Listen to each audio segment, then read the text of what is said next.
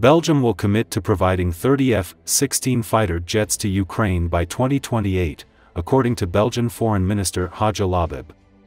She said that the first fighter jets are to be delivered to Ukraine by the end of the year.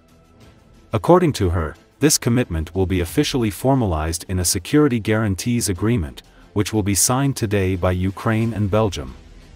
The Belgian Ministry of Defense will also transfer ammunition from its stockpiles to equip the F-16s for Ukraine. According to the minister, this support for Kiev is necessary to stop Russian dictator Vladimir Putin, who is determined to push back the borders of European countries and ensure the security of Belgium.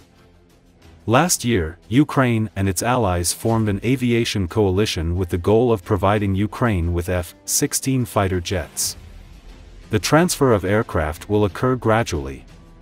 According to President Volodymyr Zelensky, Ukraine needs more than 100 aircraft in total to achieve parity of forces in the air. Recently, the first group of Ukrainian pilots completed training in Arizona. They are now heading to Europe for further training.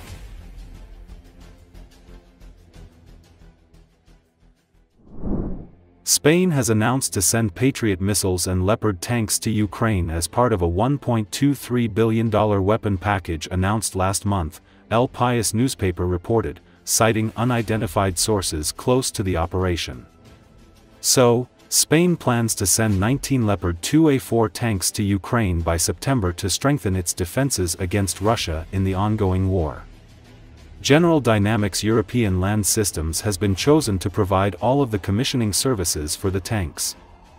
All units will undergo thorough overhaul and maintenance procedures, replacing any defective parts and reassembling their systems to ensure full operation and effectiveness before being sent to Kiev. Work for the vehicles will be carried out at their Alcalá de Guadaíra factory in Seville. The delivery is the second batch of Leopard tanks sent from Madrid to Ukraine, following the initial transfer of six in 2023. The new weapon delivery commitment will be announced during an official visit by Ukrainian President Volodymyr Zelensky to Madrid, where he will meet with Prime Minister Pedro Sanchez and King Felipe, the paper said. The worth of the package was approved last month by the government, though it did not specify which weapons were included.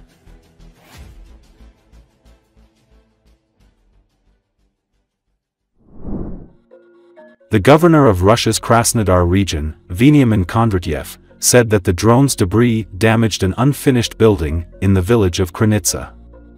There are vineyards and a winery there, which may be the residence of the Russian president.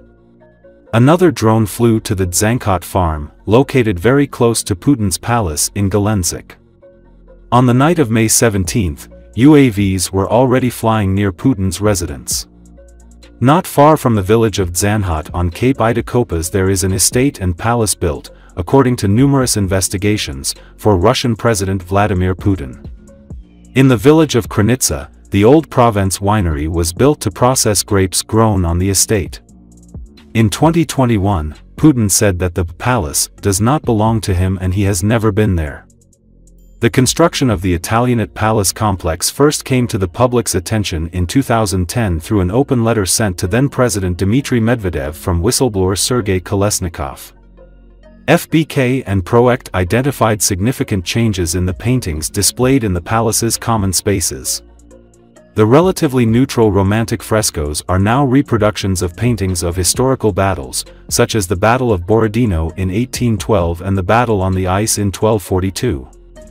Step into what was the music room, and you'll now find artwork devoted to famous Russian naval figures like Pavel Nakhimov and Fyodor Ushakov.